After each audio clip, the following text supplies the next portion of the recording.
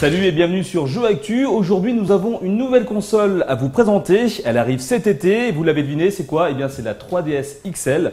Eh bien, nous l'avons reçue depuis quelques jours à la rédaction de Jeux Actu et nous avions envie de vous la présenter aujourd'hui. Elle est juste là, dans ma main. Non, c'est pas ça, excusez-moi. Elle est là, voilà, dans ma poche, la 3DS XL qui sort le 28 juillet prochain dans toute la France. Et pour pouvoir la présenter, à mes côtés, Lordi Birba, que vous devez certainement connaître, et qu'on nomme ici, bah quoi Le prince du paddle, c'est toi. Je vais pas rentrer dans les détails. Pas trop les détails, Max. Donc c'est toi qui as eu euh, le privilège et l'occasion de jouer à cette nouvelle console. Tu l'as ramenée à la maison.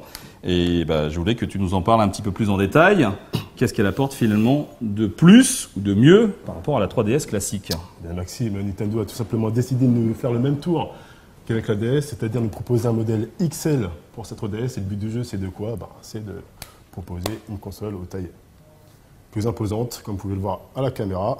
D'accord. Donc c'est quoi? C'est euh, des écrans plus grands? Exactement, des écrans plus grands, 90% euh, de plus, de plus euh, en surface. Le double, quoi, presque. Quasiment le double. On se rapproche sensiblement de ce qui, de ce qui se fait euh, sur PS Vita en, te- en termes de, de taille d'écran. Ça reste quand même en, en dessous, mais par rapport au modèle de base qui est, qui est où, qui est où je le cherche, qui est là. D'accord. Donc Je te laisse avec la, la console collector, hein, Zelda, attention. donc effectivement, donc si on fait le petit comparatif entre les deux consoles, on voit nettement que bah, la, la taille est, je ne veux pas dire deux fois plus grande, mais quasiment en tout cas au niveau des écrans. Donc, donc ça apporte quoi? Ah, Ça apporte un meilleur confort visuel, j'imagine? Voilà, meilleur confort euh, visuel, tu es beaucoup plus à l'aise euh, bah, euh, quand, quand tu joues, tu es, plus posé, tu es moins étriqué que le modèle de, de base en fait. Attends, donc Mario Kart 7 sur la 3DS XL. XL, Donc voilà, confort de jeu, comme tu viens de le dire, c'est beaucoup plus agréable, on est plus à l'aise. d'accord Donc euh, prise en main aussi, j'imagine Oui, exactement. Tu as moins l'impression d'être confiné sur un petit espace par rapport au modèle de base. Donc là, tu, tu auras- t'as- tu peux vraiment poser tes coups sur la table et jouer euh, de manière impeccable. D'accord, donc moi qui avais des crampes euh, quand je jouais euh, trop longtemps sur la 3DS Oui, là, classique, c'est terminé ça. Voilà, pour toi, c'est le paradis. Donc, et puis surtout pour les gens qui ont des, des trop grosses mains, quoi, comme toi. Donc voilà, sinon, le souci, c'est que Nintendo propose des écrans plus grands, mais n'a pas pensé à remanier la résolution. Donc, du coup, on se retrouve avec des graphismes légèrement aliasés.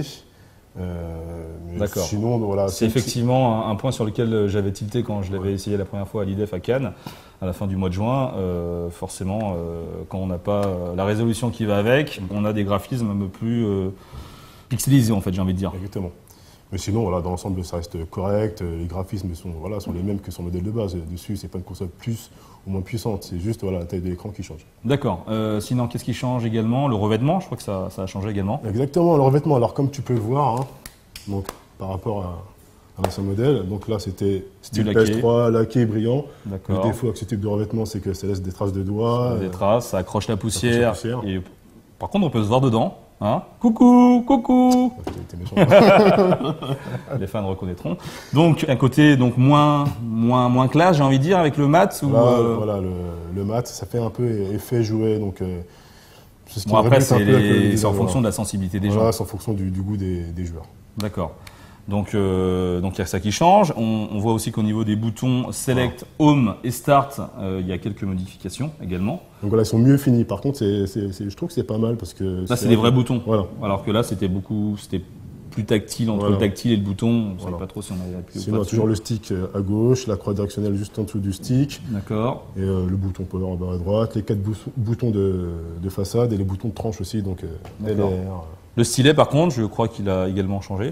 Ouais, donc là, on est revenu un peu en arrière, euh, si je puis dire. Euh, c'est plus un modèle qui ressemble Voilà, modèle euh, DS, modèle Voilà, de donc ça c'est le stylet de la 3DS classique et ça c'est le stylet de la 3DS Et voilà, ce XL, qui- Ce qui était bien sur le modèle de base, c'est que voilà, le stylet était rétractable. rétractable et puis surtout il avait euh, une meilleure tête. Voilà. Il est en aluminium donc il y a un côté un peu plus robuste. Bon après ça c'est euh, Oui, un détail euh, cosmétique, hein, j'ai envie de dire. Euh, encore une fois c'est pas sur, sur ça qu'on va tiquer, surtout qu'aujourd'hui maintenant avec les habitudes euh, des smartphones, des tablettes, bah, on n'utilise même pas la- le stylet. va avec les doigts. On y va avec les doigts directement comme des, des gros bourrins.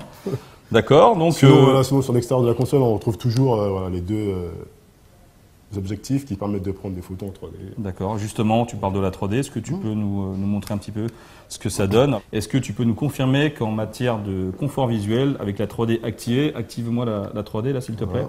Est-ce que c'est beaucoup mieux? Oui, c'est beaucoup mieux. L'immersion est beaucoup plus, plus grande.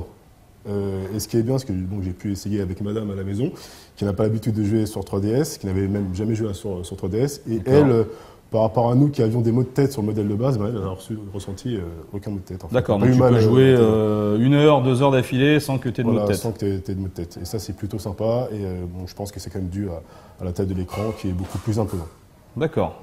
Donc ça, c'est plutôt pas mal également. Du coup, euh, on a ses avantages, mais aussi on a, on a aussi quelques inconvénients, notamment le deuxième stick euh, analogique qui était proposé donc déjà euh, à l'unité qu'on a ici, qui s'appelle le Circle Pad Pro. Vous le voyez ici. C'est vendu combien ça? Une vingtaine d'euros. Une vingtaine d'euros, d'accord. Donc, elle s'adaptait parfaitement avec l'ancienne console. Vous le voyez ici. Forcément, avec la nouvelle, bah, ça va pas passer. On va quand même faire l'essai pour que vous puissiez voir qu'elle ne rentre pas du tout. pas. Mais j'ai cru comprendre que Nintendo euh, allait commercialiser un deuxième Circle Pad Pro compatible avec la 3DS XL. Exactement. Voilà. Et donc, ils vont sortir un modèle justement qui va s'adapter aux nouvelles dimensions de la console. Euh, par contre, ce qui est bien quand même, c'est que le socle qui est commercialisé en bundle avec euh, Kid Icarus et Pricing, lui, Et compatible. voilà, est compatible. et, euh, C'est déjà ça. hein. C'est déjà, déjà un seul prix, comme on dit. D'accord, donc euh, pas de deuxième stick, euh, ça a fâché un petit peu les joueurs, mais euh, le truc qui est un petit peu, j'ai envie de dire, limite scandaleux, c'est a- c'est vendu sans chargeur. Exactement, sans chargeur. Alors, en Europe, visiblement, aux États-Unis, ils auront droit à. En Europe et au Japon, il y a Au Japon, le- la, voilà. la console est vendue Et, sans chargeur. Aux États-Unis, ils auront droit à ce privilège. Donc, euh, bon, après, le chargeur, il coûte une dizaine d'euros. Au fur et à mesure, euh, ça devient un prix XL. Au final, je serais tenté de dire. Euh, alors, une dizaine d'euros si on prend le chargeur seul. Donc, Seul, euh, voilà. classique, d'accord. Mais si on rajoute le socle, Si on rajoute faut- la, la station de, voilà, de, de chargement, là, ça coûte entre 20 et 25 euros. D'accord. Donc euh, pas de chargeur, mais ce que Nintendo n'arrête pas de nous dire, c'est que la 3DS XL est compatible avec le chargeur de la 3DS classique, également de la, de la 3DS, euh, de la DSi pardon, DSi, et de la. DS normale. Voilà, je, je me, j'en perds mon latin. Qu'est-ce qu'on peut rajouter d'autre par rapport à ça Le prix de la console Non, l'autonomie, effectivement. ouais. Vas-y, l'autonomie. euh, qui a été parlez. revu euh, légèrement à la hausse, donc voilà, rien de non plus d'extraordinaire, mais euh, c'est toujours agréable de savoir que lorsqu'on achète une nouvelle console, elle permet de jouer plus longtemps sur des jeux aussi bien 3DS que DS. D'accord. Par contre, au niveau de l'interface, tout ça, il n'y a rien qui change. voilà, c'est euh, la même chose, donc on- là on peut pas voir à l'écran, mais euh, voilà, c'est la même chose que sur le modèle de base. C'est pas une console plus ou moins puissante, c'est vraiment la, vraiment la taille des, des écrans qui change. D'accord. Et euh, le prix de vente, c'est quoi? 199 euros, voilà, 200 euros euh, si on arrondit. 200 euros, d'accord. Bon, Euh, bah, la grande question, c'est de savoir est-ce que euh, à 200 euros, si on a déjà la première 3DS classique, est-ce que ça vaut vraiment le coup d'acheter cette euh, XL La question piège. La question piège. Je te pose la question, Lorly. Alors, pour nos internautes, est-ce que tu peux les aiguiller? Eh bien, à moins d'être un grand collectionneur, un fan absolu de Nintendo euh, comme je peux l'être, Donc, tu vas l'acheter, toi? oui, je vais l'acheter. J'ai un peu, un peu de sous de côté, donc je peux me le permettre. Mais sinon, non, si, euh, si on a déjà le premier modèle de, le modèle de base, ça ne sert à rien d'acheter la, la XL, parce que bon, à part euh, la taille de, de l'écran, n'y a rien qui change, quoi. C'est la même console. D'accord. Par Donc, contre, euh, si on n'a pas encore de 3DS, Autant prendre. euh, autant prendre la, la XL. Par contre, ce qu'il faut savoir, c'est que du coup, euh, elle ne va pas forcément rentrer dans votre poche de jean. Donc, c'est un peu le problème. Ouais, c'est une console portable de salon, comme, comme on dit. Ouais, comme la PS Vita finalement. D'accord. Très bien. Bah écoute, euh, merci euh, pour ton analyse, Lorly. Merci pour ces détails. Merci de nous avoir suivis. Donc voilà, vous le savez, la 3DS XL, je vous le rappelle, elle sort le 28 juillet prochain bah, dans toute la France, vendue 199 euros. Vous le voyez, il y a le bundle qui est là, sans chargeur. Il faudra l'acheter à l'unité ou alors vous, euh, vous prenez celui d'une ancienne euh, DS. Euh, merci de nous avoir suivis. À très bientôt sur Jeux Actu. Moi, je repars avec la console et Lorly il part avec euh, ses bananes. Vous aurez compris le lien avec Nintendo. À très vite sur Jeux Actu. Ciao. Ciao.